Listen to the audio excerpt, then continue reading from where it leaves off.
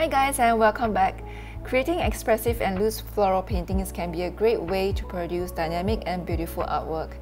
This is a video that I've created sometime last year and it has been getting a lot of views lately. I've gotten some comments from some of you saying that it's quite challenging to paint in this style. So for today's video, let's paint with me this lovely jar of wildflowers while I walk you through my thought process and tips how I usually approach this technique to paint loose in my style. I've also included some personal tips at the end of the video that worked really well for me, so be sure to watch until the end of this video. So let's jump right into it. First tip, select your color palette. Before I begin to paint, I would choose a few main colors that I like to work with which will be the colors of the larger flowers that will go in the center and then pair them with some greens. A quick tip, instead of sticking to your primary and secondary colors, consider experimenting with tertiary colors. For example, instead of using plain green, try mixing your own green to get brownish green or even bluish green.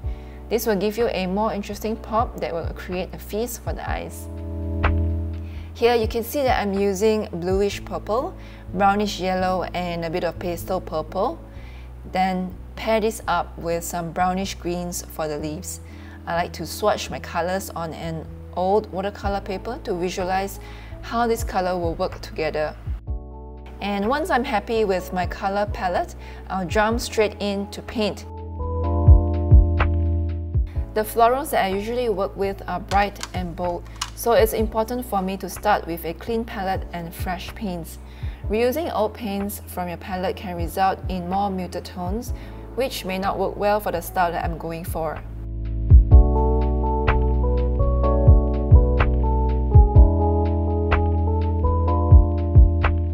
Instead of starting with a rigid pencil sketch, I like to just dive in and paint directly on the paper.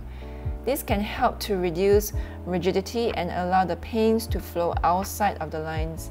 However, if you feel comfortable starting with a sketch, try creating a looser sketch to get a sense of the composition and placement of your florals.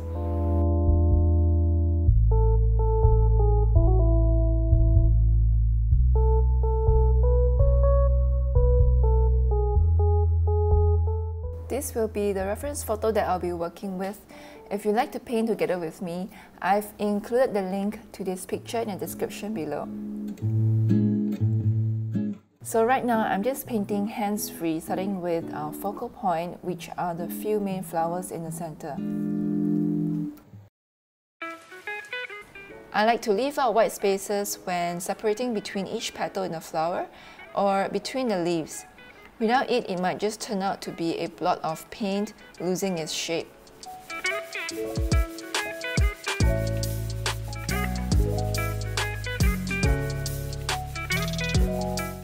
When I first purchased this sketchbook, I didn't like how my paintings turned out when painting landscapes. The paints did not flow the way I wanted it to and it gave lots of undesired dried marks.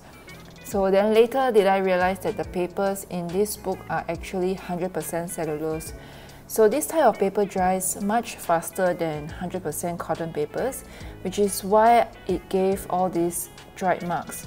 I learned to adapt painting to this paper by painting really quick, and with this mindset, I started making quick, big brushstrokes without putting much thought to it, and over time, these brushstrokes became confident and loose. I guess without the luxury of time, I didn't have the time to go into detail on how to paint or what colors to choose. And this somewhat freed a lot of the decisions I had to make, which forced me to just go with the flow. This created that freedom mindset and I found it so relaxing and fun to paint in this sketchbook. Of course, there are also some drawbacks with cellulose papers where it is not suitable for glazing or with wet on wet techniques.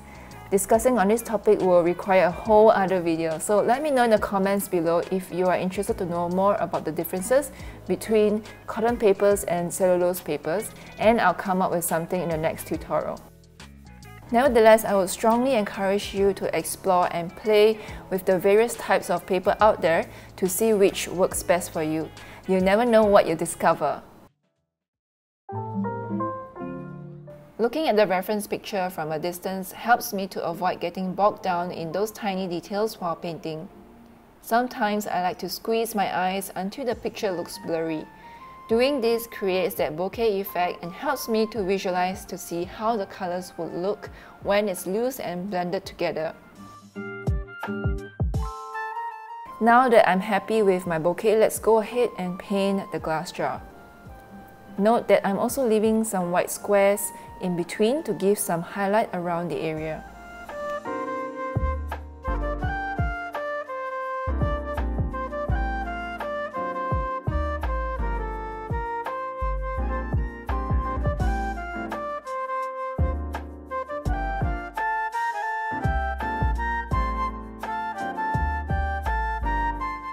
And then now I'm just adding more layers to fill in the darker tones of the shadows.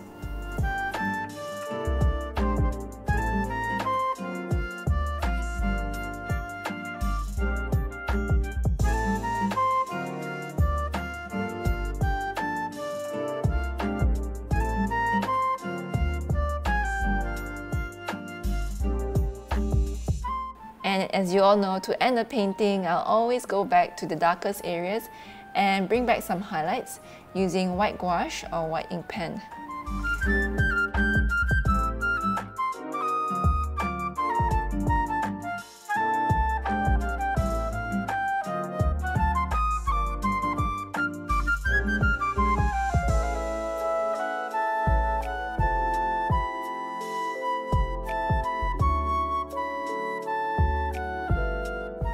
Finally, for the last tip, have fun and embrace imperfection. Creating loose florals is all about expressing the essence of the flowers rather than capturing every detail. Don't be afraid to embrace imperfection and have fun with your painting. And I'll see you in the next video.